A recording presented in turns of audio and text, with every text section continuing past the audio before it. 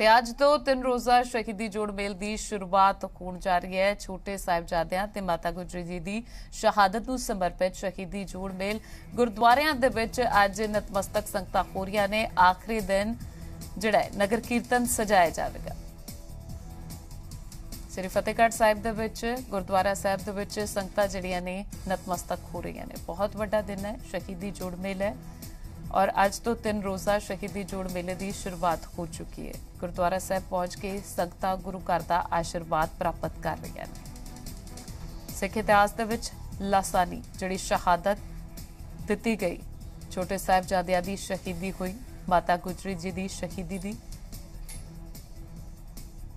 ਸ਼ਹਾਦਤ ਨੂੰ ਜਿਹੜਾ ਅੱਜ ਸਿੱਖ ਕੌਮ ਯਾਦ ਕਰ ਰਹੀ ਹੈ ਅੱਜ ਤਿੰਨ ਰੋਜ਼ਾ ਸ਼ਹੀਦੀ ਜੋੜ ਮੇਲੇ ਦੀ ਸ਼ੁਰੂਆਤ ਹੋ ਚੁੱਕੀ ਹੈ ਧਾਰਮਿਕ ਦੀਵਾਨ ਸਜਾਏ ਜਾਣਗੇ ਗੁਰਦੁਆਰਾ ਸਾਹਿਬ ਦੇ ਵਿੱਚ, ਜਿਹੜੀਆਂ ਨੇ ਸੰਗਤਾਂ ਨਤਮਸਤਕ ਹੋਣ ਦੇ ਲਈ ਪਹੁੰਚ ਰਹੀਆਂ ਨੇ। ਤਿੰਨ ਦਿਨਾਂ ਜੋੜ ਮੇਲੇ ਦੀ ਸ਼ੁਰੂਆਤ।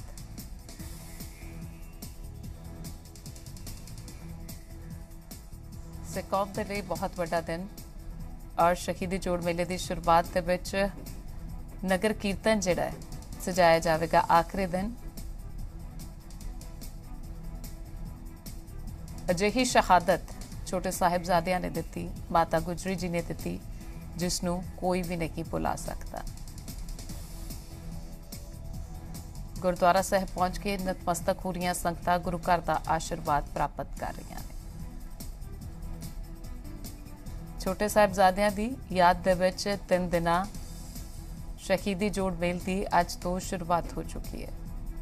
ਖਾਸ ਤੌਰ ਤੇ ਸ੍ਰੀ ਫਤਿਹਗੜ੍ਹ ਸਾਹਿਬ ਦੇ ਵਿੱਚ ਵੱਖ-ਵੱਖ ਗੁਰਦੁਆਰਾ ਗੁਰਦੁਆਰਾ ਸਾਹਿਬ ਦੇ ਵਿੱਚ ਸੰਗਤਾਂ ਪਹੁੰਚ ਰਹੀਆਂ ਨੇ, ਗੁਰੂ ਘਰ ਦਾ ਆਸ਼ੀਰਵਾਦ ਪ੍ਰਾਪਤ ਕਰ ਰਹੀਆਂ ਨੇ। ਤਸਵੀਰਾਂ ਤੁਹਾਨੂੰ ਦਿਖਾ ਰਹੇ ਹਾਂ, ਗੁਰਦੁਆਰਾ ਸਾਹਿਬ ਦੀਆਂ ਨੇ, ਸੰਗਤਾਂ ਹੁਮ ਹੁਮਾ ਕੇ ਪਹੁੰਚ ਰਹੀਆਂ ਨੇ। ਛੋਟੇ ਸਾਹਿਬਜ਼ਾਦਿਆਂ ਦੀ ਯਾਦ ਦੇ ਵਿੱਚ ਇਹ ਸ਼ਹੀਦੀ ਜੋੜ ਮੇਲ ਤਿੰਨ ਦਿਨ ਜਿਸ ਦੀ ਸ਼ੁਰੂਆਤ ਹੋ ਚੁੱਕੀ ਹੈ। ਦੂਰੋਂ ਦੂਰੋਂ ਸੰਗਤਾਂ ਪਹੁੰਚ ਰਹੀਆਂ ਨੇ, ਨਮਨ ਕੀਤਾ ਜਾ ਰਿਹਾ ਹੈ। ਸ਼ਹਾਦਤ ਨੂੰ ਸਲਾਮ। ਔਰ ਸਿੱਖ ਕੌਮ ਦੇ ਵਿੱਚ ਅਜਿਹੀ ਸ਼ਹਾਦਤ, ਵਾਕਈ ਸਭ ਲਈ ਇੱਕ ਸਿੱਖ ਹੈ ਕਿ ਕਿਸ ਤਰੀਕੇ ਦੇ ਨਾਲ ਸਿੱਖ ਕੌਮ ਨੇ ਇੱਕ ਮਿਸਾਲ ਕਾਇਮ ਕੀਤੀ।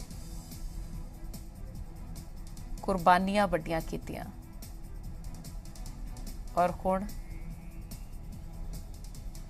ਜਿਹੜੀਆਂ ਸੰਗਤਾਂ ਨੇ ਅੱਜ ਦੇ ਦਿਨ, ਖਾਸ ਤੌਰ ਤੇ ਛੋਟੇ ਸਾਹਿਬਜ਼ਾਦਿਆਂ ਨੂੰ ਯਾਦ ਕਰ। ਸ਼ਹੀਦੀ ਜੋੜ ਮੇਲੇ ਦੇ ਵਿੱਚ, ਜੋੜ ਮੇਲ ਦੇ ਵਿੱਚ, ਮਾਫ ਕਰਨਾ, ਜੋੜ ਮੇਲ ਦੇ ਵਿੱਚ ਸ਼ਮੂਲੀਅਤ ਕਰ ਰਹੀਆਂ ਨੇ।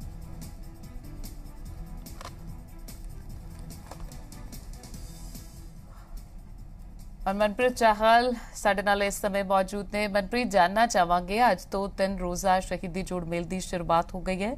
ਤਿਆਰੀਆਂ ਕਿਸ ਤਰੀਕੇ ਦੀਆਂ ਨੇ ਔਰ ਕਿਸ ਤਰ੍ਹਾਂ ਦੇ ਪ੍ਰਬੰਧ ਕੀਤੇ ਗਏ ਨੇ? ਸੰਗਤਾਂ ਹੁਮ ਹੁਮਾ ਕੇ ਪਹੁੰਚ ਰਹੀਆਂ ਨੇ। ਉਹ ਜਾਣਕਾਰੀ ਲੈਣਾ ਚਾਹਾਂਗੇ ਤੁਹਾਡੇ ਕੋਲ। ਜੀ, ਬਿਲਕੁਲ, ਅੱਜ ਤੋਂ ਤਿੰਨ ਰੋਜ਼ਾ